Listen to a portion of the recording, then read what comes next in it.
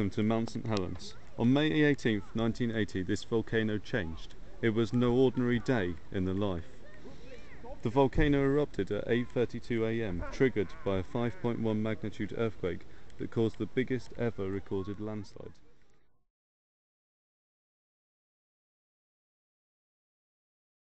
As this was released, a lateral blast surged down the mountain and towards the Toutle River. This produced hummocks that you see below.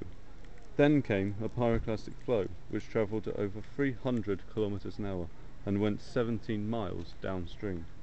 In these two events, just splits of a second apart from each other, uh, 12% of the volcano was removed.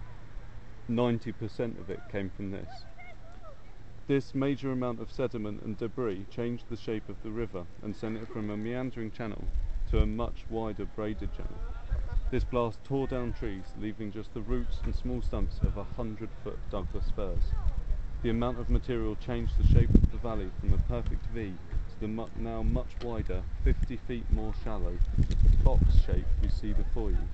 This river is now much, much wider, up to a half a mile, but less intense.